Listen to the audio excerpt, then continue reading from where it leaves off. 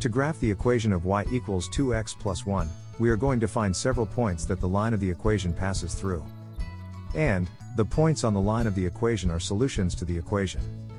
So, let's find points that are solutions to y equals 2x plus 1. To do this, we can choose any values for x or y. Here, let's find the values of y when x is 0, 1, and minus 2, which will help us complete this table. First, to find the value of y when x is 0, we are going to substitute 0 for x. 2 times 0 is 0, and this leaves only 1.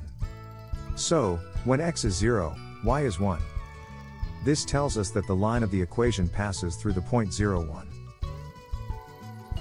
Next, to find the value of y when x is 1, we are going to substitute 1 for x. 2 times 1 is 2. And, 2 plus 1 is 3. So, when x is 1, y is 3. This tells us that the line of the equation passes through the point 1, 3. Next, to find the value of y when x is minus 2, we are going to substitute minus 2 for x. 2 times minus 2 is minus 4. And, minus 4 plus 1 is minus 3.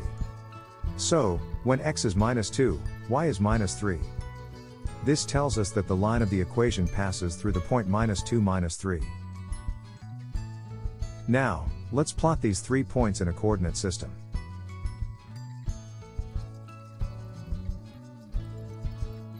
After plotting these, we can see that the points line up.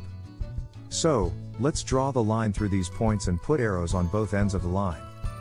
And, this is the line of y equals 2x plus 1.